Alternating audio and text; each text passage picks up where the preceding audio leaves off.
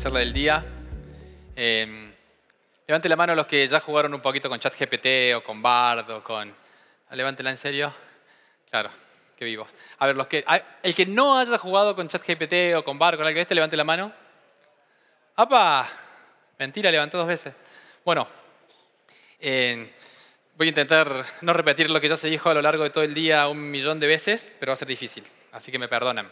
Eh, trabajo en Mercado Libre, obviamente, tenemos un equipo de tecnología increíblemente grande, todos subidos al hype de la inteligencia artificial generativa y de ChatGPT y, bueno, y hoy nos contaron, es extremadamente poderoso, podemos hacer un montón de cosas. Dijimos, ¿cómo podemos, eh, cómo podemos hacer para realmente explotarlo y para, y para ya mismo ponerlo al servicio de los productos y de, lo- y de los negocios de Mercado Libre? Em, perfecto. ¿Cómo podemos hacer? Bueno, organizamos un hackathon.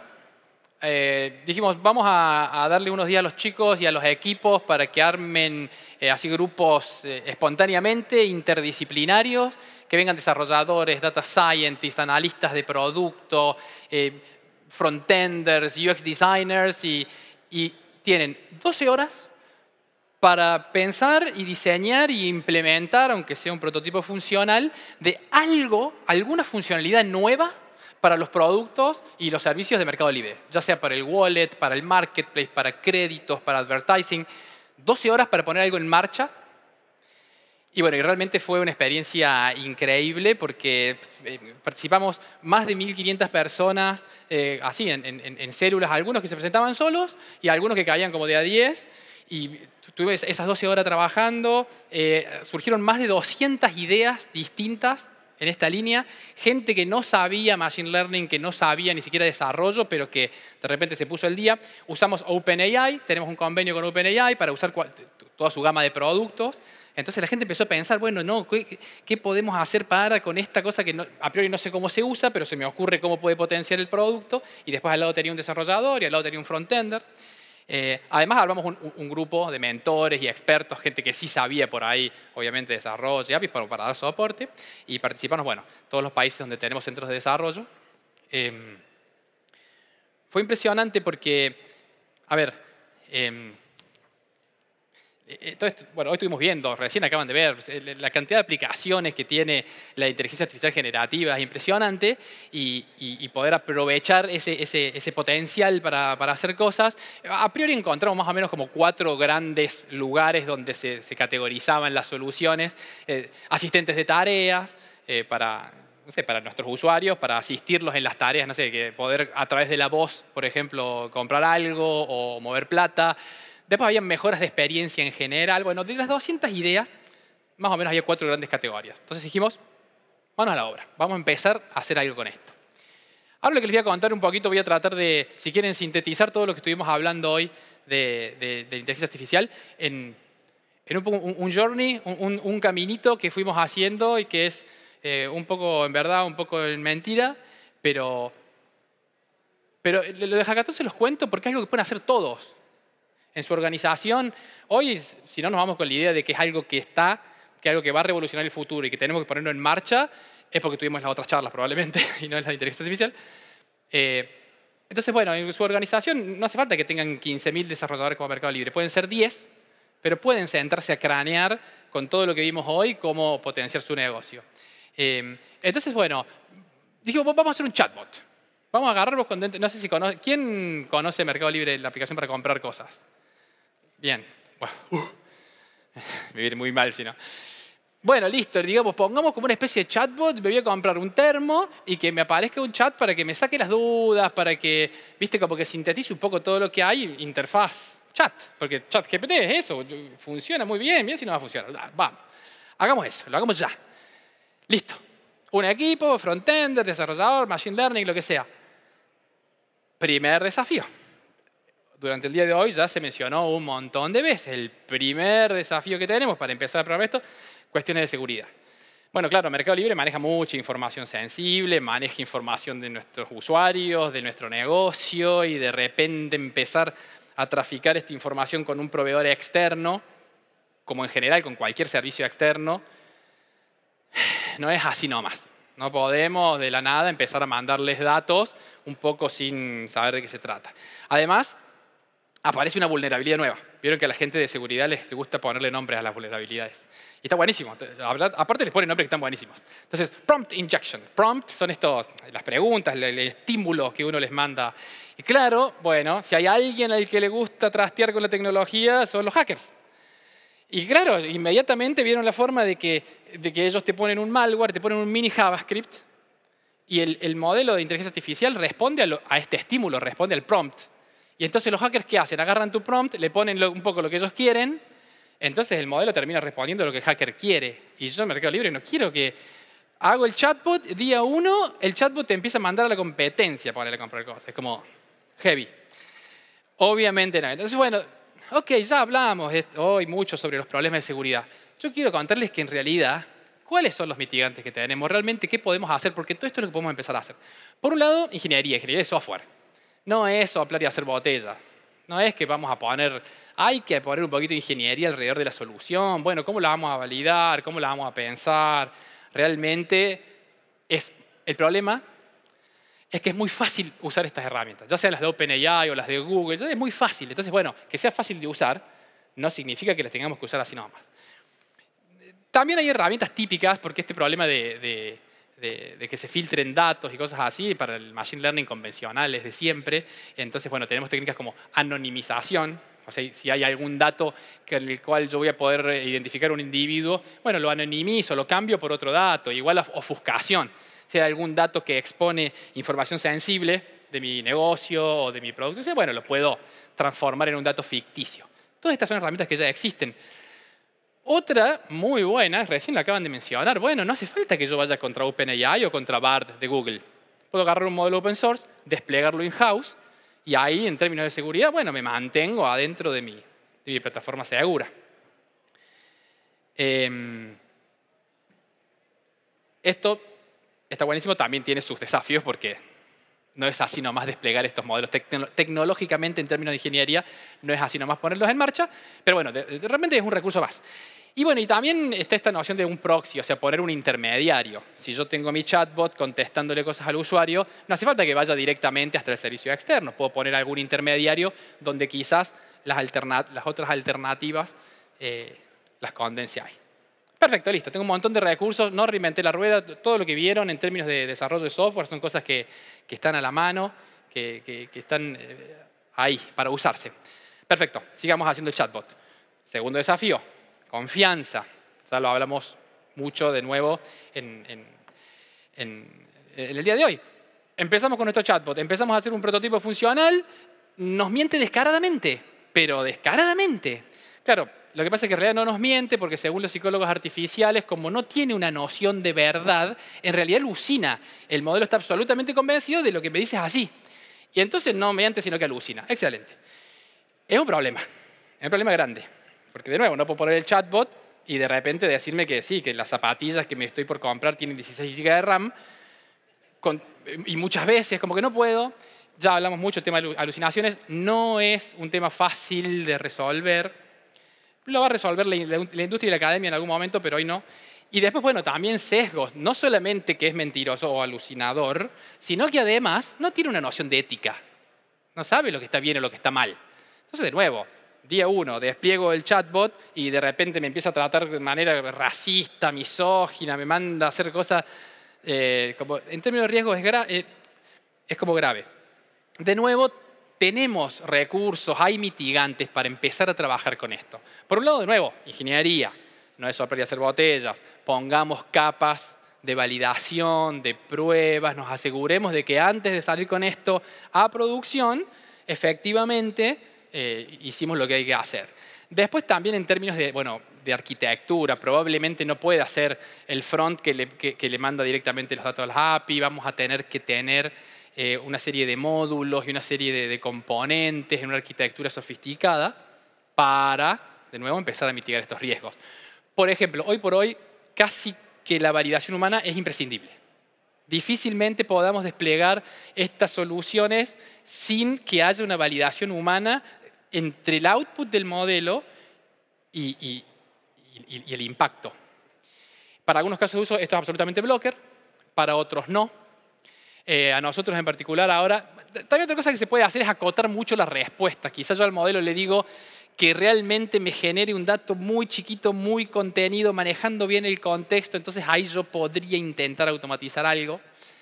Y de nuevo, un proxy, ponernos al medio, que eh, al medio de lo que está pasando, porque yo voy a necesitar saber después todo lo que salió, todo lo que entró, para, para, bueno, para eventualmente tener un poco, ¿viste? poder hacer troubleshooting, poder revisar quién, cuándo, cómo fueron usando el modelo. Todos estos recursos están, están a la mano. Bien. Perfecto. Entonces, empezamos con el chatbot, nos dimos cuenta de que hay que tener ojo, hacemos un diseño más o menos copado, le ponemos una arquitectura sofisticada, pero bueno, ya el chatbot así me parece que no va a poder ser. Entonces, ¿qué dijimos? Bueno, que no sea un chatbot ahí, que sea una herramienta como una especie de chatbot, pero para nuestros agentes de atención al cliente, nuestros agentes de Customer Experience. Mercado Libre ya van a ver, obviamente tiene una escala gigante, pero atiende alrededor de 100.000 casos de atención al cliente por día. Entonces, bueno, tenemos realmente un equipo impresionante, súper efectivo, y dijimos, bueno, ¿por qué no le hacemos a ellos una herramienta? Entonces, que cuando él ya ahora sí es una interfaz interna, ya la respuesta obviamente va a ser él el que se hace cargo, y, puede usar esta herramienta basada en los modelos de OpenAI o cualquier otro como para sumarizar los casos o para eh, resumir o para proponer por ahí una respuesta un poquito más agradable que tiene ganas de matarlo el cliente. Bueno, que le proponga algo un poquito más. Listo, sigamos en ese camino. Estamos cerca, pero bueno, ahora hay que analizar el caso de eficiencia. De nuevo, vamos al contexto del mercado libre. Somos muchos, tenemos 100 eh, millones de usuarios activos, estamos en toda Latinoamérica, se venden 100 millones de productos por mes, facturamos o manejamos pagos por miles de millones de dólares eh, por mes, somos 45 mil empleados. Este no necesariamente es el contexto del resto de las empresas, en particular de casi ninguna, pero, pero en términos de eficiencia, si somos 14, 15 mil desarrolladores y gente de, analistas de producto, que desplegamos 25 mil microservicios todo el tiempo y tenemos más de 100 mil instancias web manteniendo el producto, entonces todo ese tráfico de request, bueno, hay que tener en cuenta el tema de costos. Quizás la empresa de ustedes es distinta, quizás son 5 o 6, pero los costos lo mismo son importantes. ¿no? estos modelos, por ejemplo, como los de OpenAI, te cobran por, uso realmente es, de nuevo, depende del caso de uso, depende del impacto. Puede ser un costo razonable o no, pero definitivamente tiene un costo. Y además tienen un tiempo de respuesta, para algunos casos, eh, inadmisible. Sobre todo si vamos a procesar video o audio o sonido, sonido, imágenes, algunas veces tarda varios segundos, incluso hasta minutos en responder, y entonces no lo puedo poner en un flujo real time porque no puedo dejar al usuario esperando a ver la foto del iPhone para colmo artificial, nada que ver. Bueno, pero de nuevo, hay cosas para hacer, hay que tener mucho cuidado. El análisis de impacto, o sea, no puede ser más caro el collar que el perro. Hoy estamos viendo que, son herramientas genéricas que sirven para un montón de cosas, no tenemos que caer en el overkill de matar la mosca con el bazooka, cuando ya las técnicas convencionales, ya sea de ingeniería de software o incluso de machine learning convencional, siguen sirviendo. Esto viene a aumentar nuestra caja de herramientas. Esto viene a ayudarnos a, poder hacer más cosas, a resolver problemas complejos que antes no podíamos o que era súper difícil y estas herramientas lo hacen muy bien. Pero bueno, tenemos que ver un poquito realmente que valga la pena. Y bueno, en términos de arquitectura, lo mismo, plantear una buena arquitectura de software, un buen diseño que nos ayude a mitigar los costos, a tenerlos bajo control, a conocerlos, ¿Bien? Y de nuevo está la idea del proxy como, como una herramienta eh, que nos sirve. Entonces, un poco lo que quería contarles era, todo lo que estuvimos escuchando hoy es todo verdad, salvo algunas partes, pero no les voy a decir cuáles. Y, está, se puede usar y tenemos herramientas para, para, resolver los problemas que se plantean. En particular, recién con, con, lo del proxy lo, mencioné muchas veces porque nosotros en nuestro caso nos resultó una herramienta muy interesante tener la plataforma. Mercado Libre trabaja con un platform as a service, o sea, tenemos nuestros desarrolladores, les damos unas herramientas de plataforma y entonces podemos tener estos servicios transversales para que cualquiera de los 15.000 desarrolladores de Mercado Libre no tenga que sacarse una cuenta en OpenAI para usar eh, el servicio, sino que pasa a través de nuestro proxy. En nuestro proxy, ¿qué podemos poner? No solamente podemos manejar cuotas, rate limits, gestión de costos, auditorías. Es una herramienta muy fácil. Cualquiera, eh, cualquiera de sus equipos pueden hacer esto. Vayan a estos servicios que son caros a través de una cosa que les permite el día de mañana tener control de lo que pasa. Y, fíjense que es un poco un mitigante para todo lo que estuvimos viendo, ¿no? Para regular ahí cuestiones de seguridad, tratar de ofuscar datos, para ahí mismo controlar de que si el modelo nos miente descaradamente, bueno, sepamos cuándo nos mintió, por qué, qué impacto puede tener. Quería hacer un paréntesis sobre, sobre el tema del proxy. Y ahí está, ya está. Ahora nuestros, eh, nuestros eh, agentes de Customer Experience tienen su cosa. Todavía no, en realidad, o capaz sí, no se los puedo decir. Pero bueno, pero antes de, cortar, quería hacer un, mini bonus track, porque hay otra forma de apalancar o de, mejorarnos con la inteligencia artificial generativa, que es a través de las herramientas que nos ayudan a escribir código fuente. Por ejemplo, Copilot es el más conocido, el de Google. Em, hay, otras, hay, otros, hay otros, este, este está basado en un modelo, que se llama Codex, hay otras herramientas que... Es como ¿Alguien no conoce Copilot o no sabe lo que es Copilot? Ah, bien, hay algunos. Es como una herramienta que en algunas IDEs muy conocidas, en las IDEs eh, para escribir código, le pones un plugin y de repente vendría a ser como un... Es un copiloto, te empieza a sugerir texto, a, sugerir en este caso código. Entonces vos le decís, quiero una función, no me acuerdo cómo se ordena un arreglo en Python. Te tira el código. Quiero una clase que se llame perro, que más o menos describe un perro. Blue describe el código de la clase perro. Eh, es buenísimo Obviamente no me voy a poner a, vender el, speech de marketing de ellos porque vayan y entren, pero en Mercado Libre lo validamos. Desde hace poco se lo abrimos a, toda la organización, a todos los desarrolladores. Eh, nosotros, bueno, coincido con mucho que se dijo el día de hoy. Estoy muy contento de entender que, que al menos sus referentes tecnológicos y quienes estuvieron hoy eh, están muy alineados en que esto no viene a sacarle trabajo a nadie, no viene a reemplazar a nadie, sino que viene a potenciarnos a potenciar la creatividad y las tareas interesantes de los desarrolladores y los ingenieros de software. Copilot es una gran forma de aprovechar eso. Para que somos desarrolladores, las tareas... Por ejemplo, un caso de uso muy interesante de Copilot, yo digo es que para los newbies, para el junior que es un poco introvertido, que a veces no se anima a hacer las preguntas básicas, no se anima a interrumpir al equipo en eso, cómo se ordenaba un arreglo, cómo era la interfaz en Java para hacer no sé qué cosa, una clase abstracta. Eh, ahora si le preguntas a Copilot, entonces potencias a tu junior. Se enfoca, ni siquiera tiene que ir a Stack Overflow, porque vas a Stack Overflow a copiar y pegar código y te quedas leyendo 200 pelotudes que están buenísimas. No, este es como Stack Overflow, un poco lo tenés ahí en la IDE. Eh, entonces, bueno, era como un bonus track, porque es, otra forma de potenciar nuestro laburo, de potenciar nuestro impacto, de potenciar eh, nuestros productos eh, a través de, estos modelos generativos. Bien. Entonces, eso es más o menos todo. Fui rápido porque hoy ya se dijo, se dijo casi todo lo interesante y lo, y lo profundo y lo verdaderamente significativo, pero eh, con el ejemplo de cómo lo estamos haciendo en Mercado Libre, en Mercado Libre venimos usando modelos generativos desde, desde hace mucho y, y desde lo del hackathon realmente fue, un, fue como una explosión donde crecimiento exponencial en la cantidad de proyectos que ahora queremos poner en marcha. Pero bueno, con todos estos desafíos y con todos estos recursos, entonces, antes de irme quiero invitarlos a todos desde donde están a que se animen a explorar estas nuevas fronteras de la tecnología que se animen a aprovechar el potencial eh, productivo que tienen estas herramientas de, estos modelos generativos, esta posibilidad de tener soluciones más atractivas y más personalizadas.